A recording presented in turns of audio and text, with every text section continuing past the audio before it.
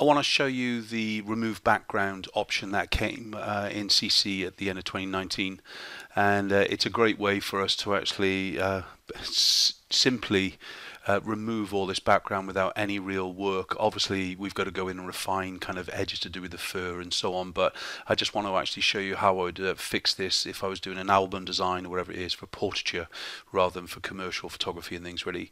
So uh, let's just um, close this down for a minute and we'll just go and open it again. So just coming down in a bridge and we'll just go and grab the image that we just saw. I'll go and show you that it works on all the other images as well.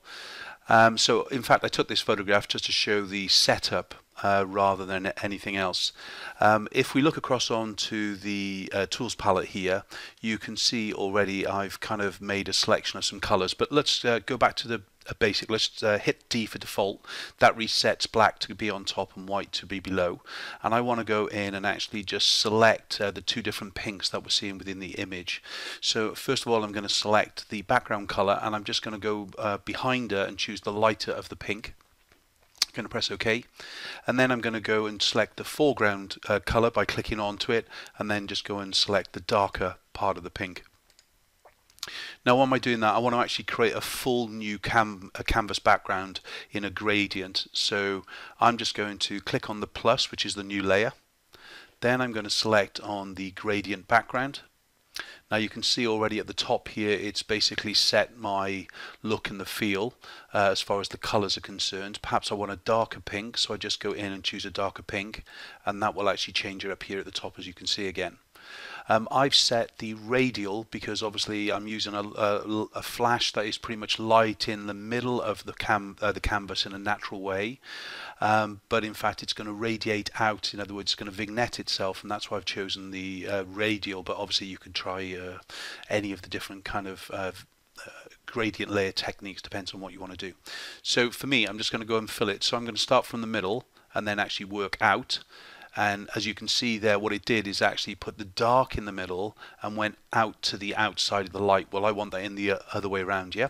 So uh, let's uh, do it in reverse. So let's uh, reset that again. We'll just swap those around. So now we have the darker as the outer edge. And then we can actually just decide on how bright a vignette we want to actually uh, achieve. So you can see how it just added more and more brightness within to the image itself. So let's go quite a long way with it and that's pretty cool. Right, so with that in mind, all I've got to do now is to put this background behind or below the actual background layer. Uh, to do that, we'll just double click on the background layer and we'll just press OK and that releases the little lock tool. So if you just drag the properties panel in just for you to see a minute, um, without making any selection on the image and with my photograph selected rather than the layer one, which is the uh, gradient color, I've got here on the properties panel, I've got remove background. And that is smart. it literally is going to do that for us. Uh, pretty pretty damn great and things really. And because we're kind of using similar colors within the background uh, we haven't got the kind of problem that we might have uh, as far as the kind of different color tones. If I was sticking her on white it, you'd obviously a little bit more of the fringing around her and so on but we could get away with that you know pretty quick. So let's do that in real time. So let's get another image and see how it works. Again we'll just go and pick up um, the one just to the left of it Let's do exactly the same same thing. So we're going to pick up a new layer. We're going to just push out to actually create the bright vignette that we need as far as the gradient's concerned. We want to unlock the background layer, drag layer 1 below, select on the actual photograph and just hit the remove background.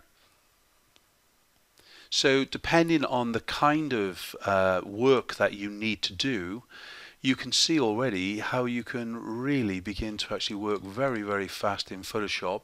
Obviously depends on the uh, you know how critical it needs to be. And there's often some tasks that we can spend too much time uh, working on.